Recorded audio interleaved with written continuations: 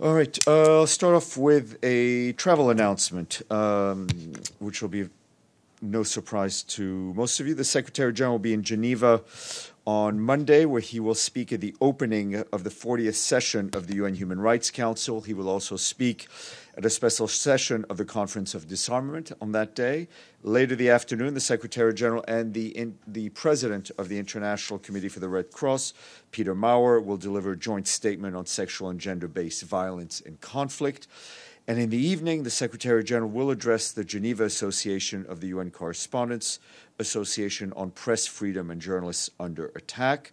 And on Tuesday, he will convene a high level pledging conference for the humanitarian crisis in Yemen, uh, co hosted by Sweden and Switzerland, of which you heard quite a bit about today.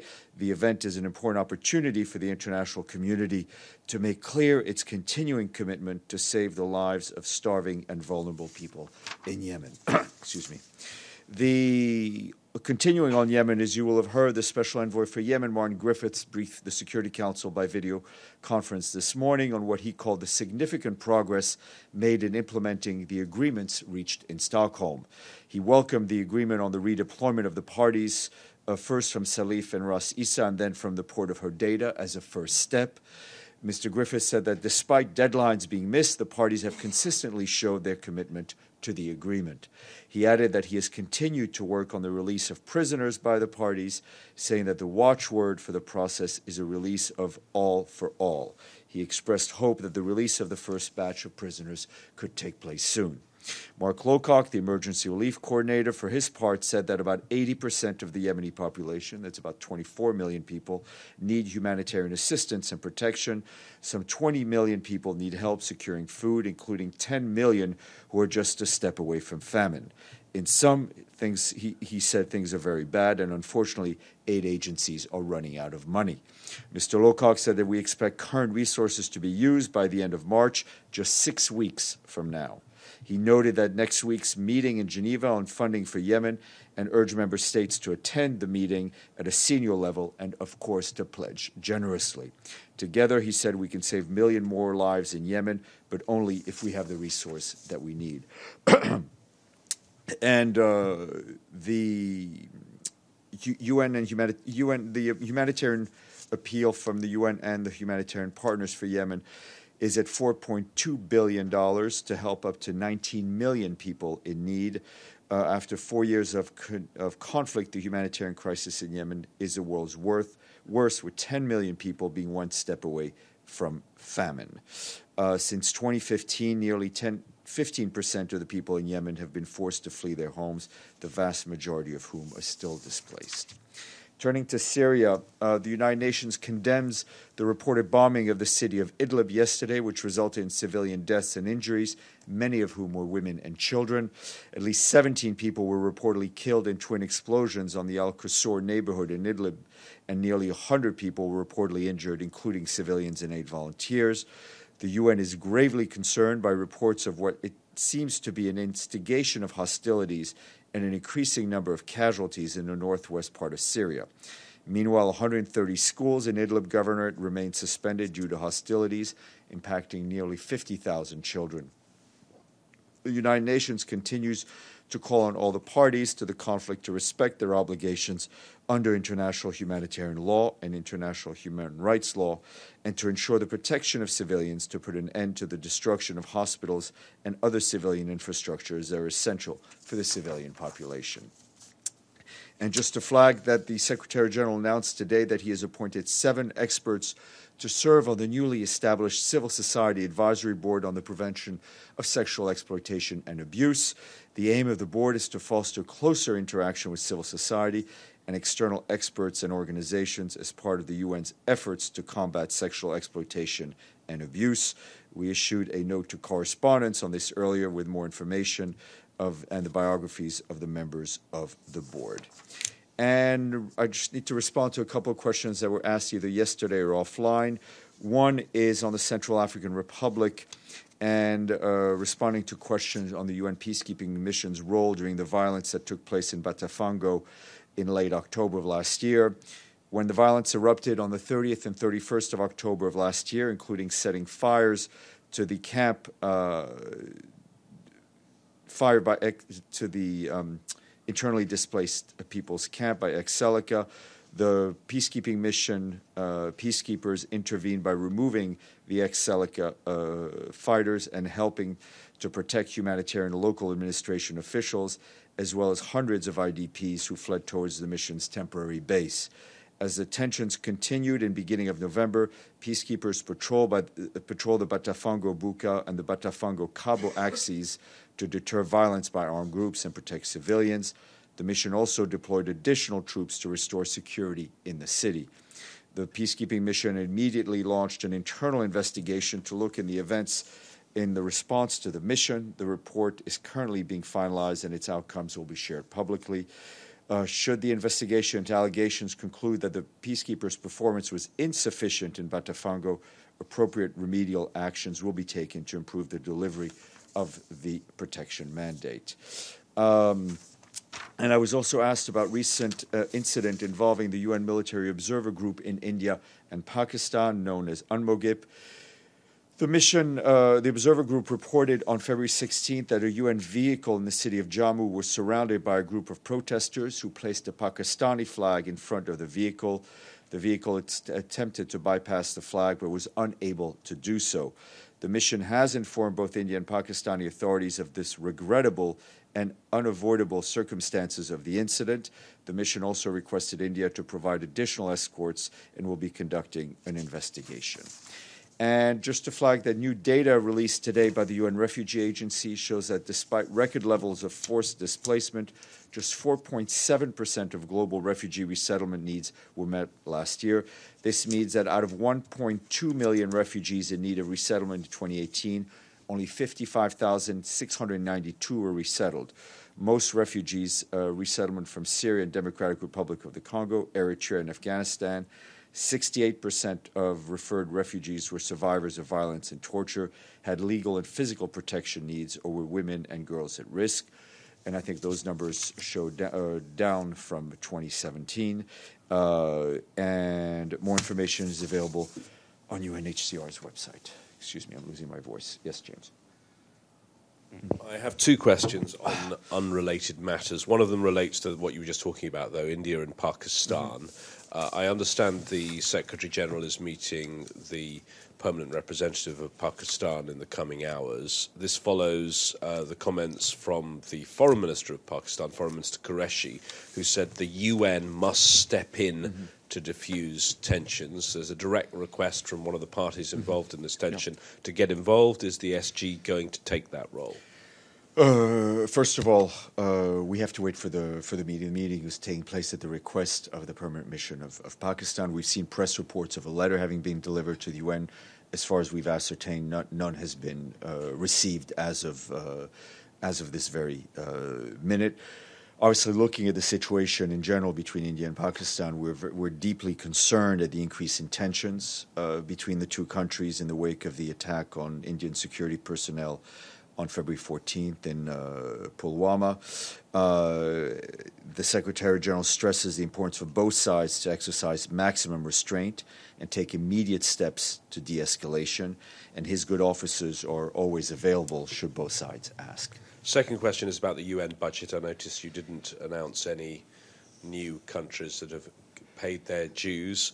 Um, no, that, that's due to it's it. Just so you know, it's due to the fact that yesterday was one of these floating holidays, and so we wouldn't have gotten if. But there, there has been a new letter, I believe, from the chef de cabinet yeah. to, to to senior officials of the mm-hmm. UN. Um, talking about how dire the budgetary mm-hmm. situation is. Can you explain to us how bad things have got?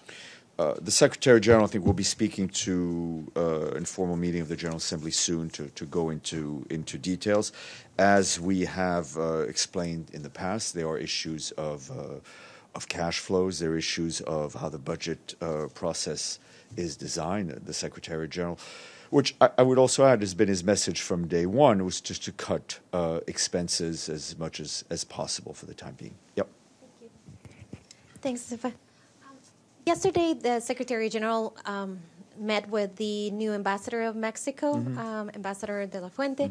Can you tell us, um, as you as far as you can tell us, uh, what was uh, said on that meeting, especially in terms of Venezuela? Um, the ambassador shared with us that um, they spoke about Venezuela Mm-hmm. and talked about the possibility of dialogue, um, and the um, how happy the Secretary General was about the position of Mexico of being a neutral uh, partner Mm-hmm. in the region. Uh, you know, the, the Secretary General has said that he, uh, while he did not participate in any of the uh, the various meetings that took place in the last ten days, one of which was was sponsored by Mexico, he very much welcomed uh, these initiatives. As far as the Secretary General's position, it remains unchanged. His good offices remain uh, available, and he continues to believe in the need for serious political negotiations. Excuse me, I did too much screaming over the weekend. Steph, has been any um, meet any talks with any of the governments? Because the problem is we haven't heard anything from uh, either Mexico in terms of approaching Venezuela or the Guaido camp um, or um, the Secretary General.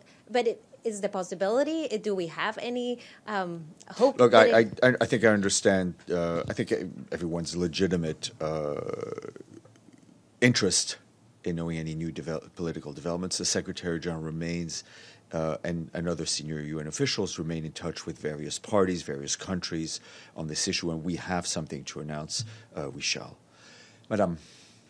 Uh, Stefan, regarding uh, Yemen and Mr. Griffiths, um, so he talked about two phases of uh, the first one is uh, redeployment in uh, ports of Salif and Ras uh, Isa. Uh, could you break? I mean, is there now a, a better understanding for who's going to take control in these airports when this redeployment is happening? Because if I understood it right, there was always this dispute about what will happen after the de- redeployment. Is it clearer now, or you know, I think we want to take this uh, this whole process extremely carefully, one day at a time. I think uh, Mr. Griffiths was as clear and forthcoming as he as he could be. Uh, we're obviously uh, looking for the for the parties to immediately start the implementation with, of the of the redeployment, which we said could happen uh, could happen very soon. So I'm I'm not going to go into any detail that Mr. Griffiths himself did not go into.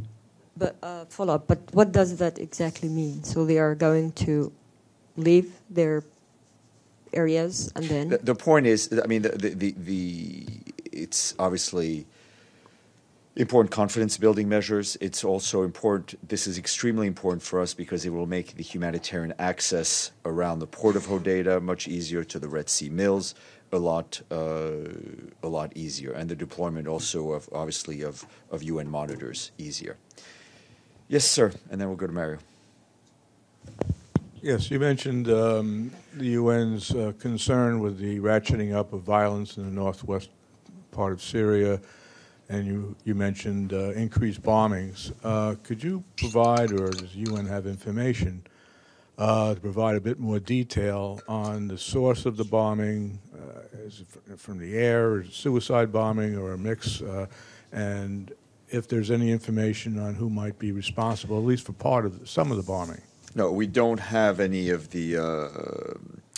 What's the term I'm looking for? Uh, we don't have any uh, uh, at this point a, a mandate or the or the tools to allow us to know exactly who conducted uh, these attacks on civilians or who's responsible for the attacks of civilians. The point for us is to ensure that every party involved in this conflict needs to assure the safety of civilian and civilian infrastructure. Mario, and then the gentleman all the way in the back. Uh, just to follow up on Venezuela, uh, with the tension increasing around these deliveries of aid and uh, the deadlines that are coming up, um, threats by the U.S. president to the Venezuelan military yesterday, uh, what's the message of the Secretary General regarding a possible outbreak of violence uh, in the border? Look, we're, we're, we're clearly uh, worried and concerned about uh, about the situation on the ground. We've expressed, Secretary General's expressed it uh, clearly uh, from the beginning of this uh, this current round of of this the of the crisis. We are uh, appealing for all parties to to move towards a political, serious political negotiations uh, and any de-escalation of, of the tensions that we're seeing. So I have question on Nigeria's postponement of Mm-hmm. the election. I saw the statement read by Farhan from the UN and observer Yeah. missions. Has there been any outreach from the Secretary General to the um, political principals in Nigeria? There seems to be a sort of an eerie calm around, uh, you know, the elections in a country that historically, you know, if you ignore 2015, uh, things could go very bad very quickly. No, I mean we're we're obviously aware of the situation and the history of uh, of electoral related violence uh, that we that we've seen sometimes in the years in, in Nigeria. Mr. Chambas represents the Secretary General, and he is very much in touch uh, with all the relevant parties in Nigeria. Carla, Um, I may have missed your discussion of uh, the India Pakistan situation, but one of my more reliable or most reliable sources in Pakistan suggested to me this morning that if fighting does break out, it could become nuclear. Do you know anything about that? no. Uh, Mario, Just to follow up on the earlier question, you've talked before about the need to uh, depolitize, depoliticize Aid. the uh, the um, the Humanitarian humanitarian, aid, aid. Uh, does the SG consider these operations in, uh, that are taking place are a political use of? Uh, I, I think the, the depoliticization of aid uh, and the need to do that applies across the board. Thank you all.